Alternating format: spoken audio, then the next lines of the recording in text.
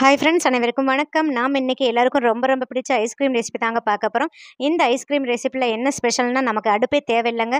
ரொம்ப ரொம்ப ஈஸியாக செஞ்சிடலாம். ரெண்டு வாழைப்பழமும் ரெண்டு டேபிள் ஸ்பூன் பாலும் இருந்தால் போதுங்க. ஈஸியாக செஞ்சிடலாம். ரொம்ப ரொம்ப ஸ்மூத்தாக இருக்குங்க. இதோட டெக்ஸ்டர் பாருங்கள் ரொம்ப ரொம்ப ஸ்மூத்தாக இருக்குங்க. வாங்க இந்த குல்ஃபி எப்படி செய்யலான்னு பார்க்கலாம். அதுக்கு முன்னாடி நம்ம சேனலை சப்ஸ்கிரைப் பண்ணாத நண்பர்கள் சப்ஸ்கிரைப் பண்ணிக்கோங்க. வாங்க இப்போ வீடியோக்குள்ளே போகலாம் பனானா ஐஸ்கிரீம் செய்கிறதுக்கு நான் இன்றைக்கி ரெண்டு செவ்வாழைப்பழம் எடுத்திருக்கேங்க. நீங்கள் நார்மல் வாழைப்பழம் கூட எடுத்துக்கலாம். ரெண்டு எடுத்துக்கோங்க. இப்போ பாருங்கள் இந்த வாழைப்பழத்தை நல்லா ஸ்லைஸ் ஸ்லைஸாக கட் பண்ணிக்கோங்க. எல்லார் வீட்டில் இந்த மாதிரி டிஃபன் பாக்ஸ் இருக்குங்க. அதில் நம்ம சேர்த்து விட்டுடலாம். சேர்த்துட்டு மூடி போட்டு க்ளோஸ் பண்ணிவிட்டு ஒரு த்ரீ ஹவர்ஸ் ஃப்ரீசரில் வச்சுருங்க. நெக்ஸ்ட் இதே மாதிரி ஒரு சின்ன பவுல் எடுத்துக்கோங்க. இப்போ நான் சேர்க்குற நட்ஸ் எல்லாம் முழுக்க முழுக்க ஆப்ஷனல் தாங்க.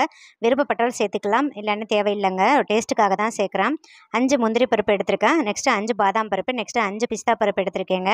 இந்த மாதிரி நல்லா கொதிக்கிற தண்ணியை இதில் சேர்த்து விட்டுருங்க. சேர்த்துட்டு ஒரு அரை மணி நேரம் அப்படியே ஊற வச்சுருங்க. இது அப்படியே ஊறட்டும். இப்போ த்ரீ ஹவர்ஸ் கழிச்சு ஃப்ரீசர்லேருந்து எடுத்துகிட்டு வந்துட்டீங்க. இதோட டெக்ஸ்டர் பார்த்தீங்கன்னா நல்லா ஹார்டாக இருக்குங்க. கல் மாதிரி இருக்கும். ஸோ உடனே மிக்ஸி ஜாரில் சேர்க்காதீங்க.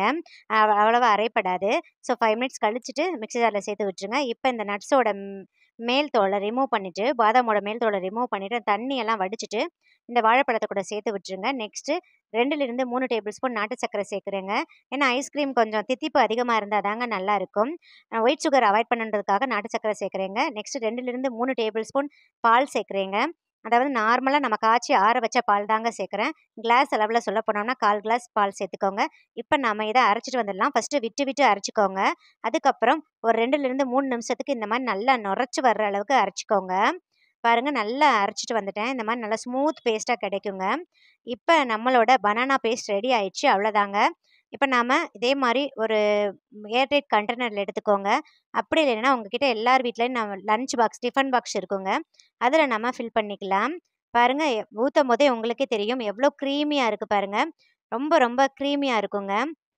இப்போ பாருங்கள் இதை நாம் க்ளோஸ் பண்ணி ஒரு எயிட் ஹவர்ஸ் அப்படியே உள்ளே வச்சிடலாம். நெக்ஸ்ட்டு இதே பேஸ்ட்டை பயன்படுத்தி நம்ம குல்ஃபி செஞ்சிடலாங்க. அதுக்கு நமக்கு குல்ஃபி மோடு தான் வேணும்னு அவசியம் இல்லைங்க. இதே மாதிரி கிளாஸ் எல்லார் வீட்டில் இருக்கும்.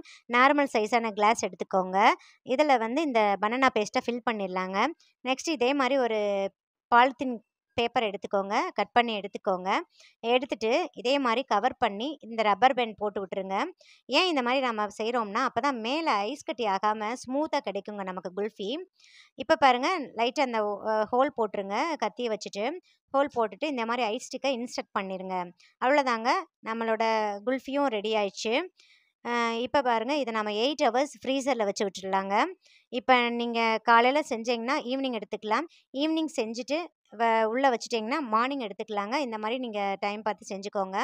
இப்போ நம்ம இதை நம்ம ஃப்ரீசரில் வச்சுட்டு வந்துடலாங்க இப்போ பாருங்கள் நான் எயிட் ஹவர்ஸ் கழித்து எடுத்துகிட்டு வந்துட்டேங்க. இப்போ இந்த கிளாஸை வந்து இந்த மாதிரி ஒரு கிண்ணத்தில் தண்ணி எடுத்துகிட்டு நார்மல் தண்ணி எடுத்துகிட்டு இந்த மாதிரி லைட்டாக ஷேக் பண்ணிக்கோங்க. ஒரு ரெண்டு செகண்ட் ஷேக் பண்ணால் போதுங்க. இப்போ நம்ம இந்த மேலே இருக்க கவரை எடுத்துகிட்டு லைட்டாக இப்படி ட்விஸ்ட் பண்ணாவே போதுங்க. அப்படி ஈஸியாக நமக்கு எடுக்க வரும். ரொம்ப க கஷ்டப்படவே தேவையில்லை. பாருங்கள் நம்மளோட குல்ஃபி ரெடி ஆயிடுச்சு. டெக்ஸ்டர் கூட பாருங்கள் எவ்வளோ ஸ்மூத்தாக இருக்குது பாருங்கள் இந்த டெக்ஸ்டர் கூட. அப்படியே நமக்கு குல்ஃபி மோடு தான் வேணும்னு அவசியம் இல்லைங்க. இந்த மாதிரி நார்மல் கிளாஸ்லேயே செய்யலாம். அந்த அளவுக்கு நல்லா ஸ்மூத்தாக கிடைக்குதுங்க பாருங்கள் நம்ம கடையில் வாங்குற குல்ஃபி மாதிரியே நல்லா ஸ்மூத்தாக இருக்குங்க. நான் நாட்டு சக்கரை சேர்த்துருக்கிறதுனால எனக்கு இந்த மாதிரி ஒரிஜினல் மலாய் குல்ஃபி கலர்லேயே இருக்குது பாருங்கள் அதுவும் இல்லாமல் செவ்வாழைக்குன்னே ஒரு கலர் இருக்குங்க. இந்த மாதிரி கலரில் தான் இருக்கும் செவ்வாழை. நீங்கள் நார்மல் பழம் எடுத்தீங்கன்னா நல்லா பியோர் ஒயிட்டாக இருக்கும். அது கூட நாட்டு சக்கரை சேர்த்திங்கன்னா உங்களுக்கு இதே கலர் வந்துருங்க. இப்போ பாருங்கள் நான் இந்த மாதிரி டிஃபன் பாக்ஸில் ஊற்றி வச்சுருக்கிறதுலையும் நான் எடுத்துட்டேன். இதே மாதிரி எடுத்துகிட்டு நம்ம சேர்த்து விட்டுடலாம். நெக்ஸ்ட்டு வந்து பாருங்கள் இது கூடயே நான் ஹனி சேர்த்துக்கிறேங்க உங்ககிட்ட ஹனி இருந்தால் சேர்த்துக்கோங்க இது முழுக்க முழுக்க ஆப்ஷனல் தாங்க. இந்த ஹனியை நம்ம சேர்த்து சாப்பிட்ற சாப்பிட்றச்ச இன்னும் ரொம்ப டேஸ்ட்டாக இருக்கும் உங்ககிட்ட ஏதாவது சாக்லேட் ஷிரப்பு ஏதாவது வச்சுருந்தீங்கன்னா கூட அதை கூட நீங்கள் ஊற்றிக்கலாங்க பாருங்கள் இப்போ ஸ்பூனில் எடுக்கிறேன். எவ்வளோ ஸ்மூத்தாக இருக்குது பாருங்கள் டேஸ்ட் வைஸும் ரொம்ப நல்லா இருக்குங்க.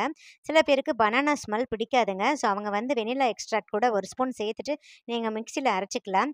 அப்படி இல்லைன்னா மிக்சியில் அரைக்கும் போது அஞ்சு ஏலக்காயை சேர்த்துட்டு கூட அரைச்சிக்கலாங்க.